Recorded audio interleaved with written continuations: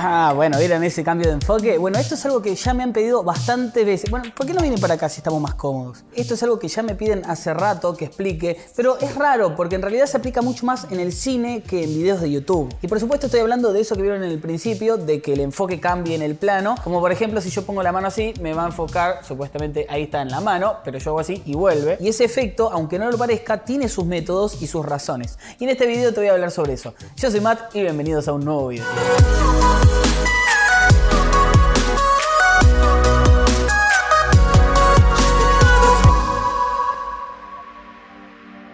Empecemos por llamarlo por su nombre, Rack Focus. Esta técnica que se suele usar mucho en el cine y que consiste en mover el punto de enfoque de un lado al otro, se hace para dirigir la atención a otra persona, objeto o situación dentro del mismo plano. Nosotros lo sentimos agradable a la vista porque le da movimiento y profundidad a una imagen que tal vez son dos objetos quietos ahí como estático y nos facilita el trabajo de tener que buscar el punto relevante en el plano también. Pero Matt, ¿cuándo nos vas a enseñar a hacerlo? Ay, está bien, siempre apurándome. Si tenemos enfoque automático, vamos a tener muchísimas más opciones, más si tenemos pantalla táctil. Solo tenemos que tocar en el objeto o zona del plano a donde queremos dirigir el enfoque. Y listo. Y lo mismo cuando grabamos con celulares. Simplemente tenemos que tocar en la pantalla donde querés que mande el enfoque y ojo que en algunos celulares hace ese tembleque cuando encuentra el enfoque que no está para nada bueno. Pero hey, es un celular, gracias a que te deja enfocar donde vos querés. Tengan en cuenta que a menos profundidad de campo van a tener mucho más desenfoque en el fondo o adelante y a la cámara le va a costar un poco más encontrar el enfoque. Y si lo encuentra puede que haga un pequeño movimiento nada agradable cuando haya encontrado el enfoque. Por eso recomiendo que no usen mucha, mucha apertura cuando van a hacer esto. Por lo menos una distancia focal más larga, pero no una apertura tipo 1.8 o 1.4, porque es muchísimo para hacer esto.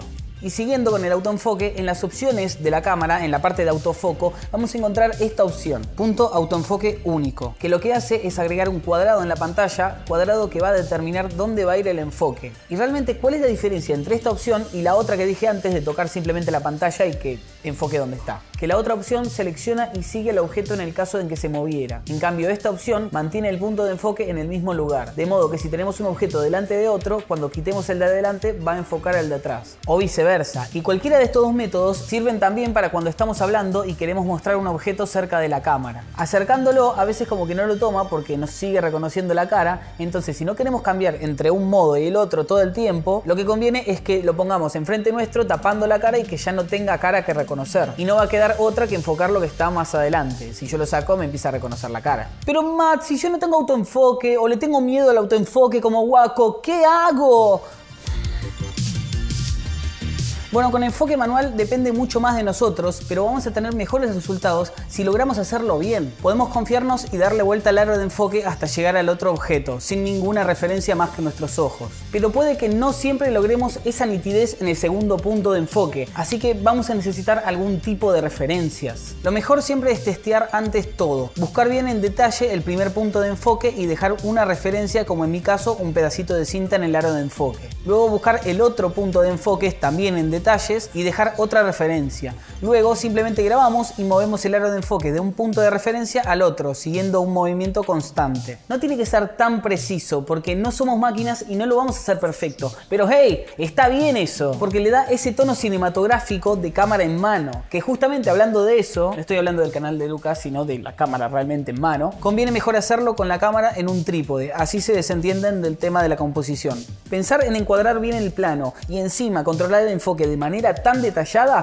a veces nos puede marear porque son muchas cosas de las que tenemos que estar pendientes. Por eso nos puede traer fallas. Y está bien que tengamos el tono cinematográfico de cámara en mano, pero eh, cuando las cosas salen mal, eh, no queda bien de ninguna manera. En cine o no cine, si se ve feo, se ve feo. Así que tienen que aprender a usar sus herramientas a su favor. Simplemente pueden poner la cámara en un trípode, eh, pensar en el enfoque y después le ponen un efecto tipo movimiento cámara en mano y lo pueden descargar en un pack que tengo en la tienda digital en el primer link en la descripción. Por supuesto, todo hecho por mí. Y hasta acá el video de hoy, chicos. Me encanta porque hace rato que no hablo sobre cosas del cine, efectos y eso. Bueno, está buenísimo. Si quieren aprender más sobre cine o videografía, fotografía, audio, todo lo que hablo yo, déjenlo todo en los comentarios y no olviden de darle brillo a ese like. Y acá en mis costados les dejo más videos recomendados para que puedan ir a ver más contenido, chicos. Les mando un beso enorme y nos vemos en el próximo video. Chao.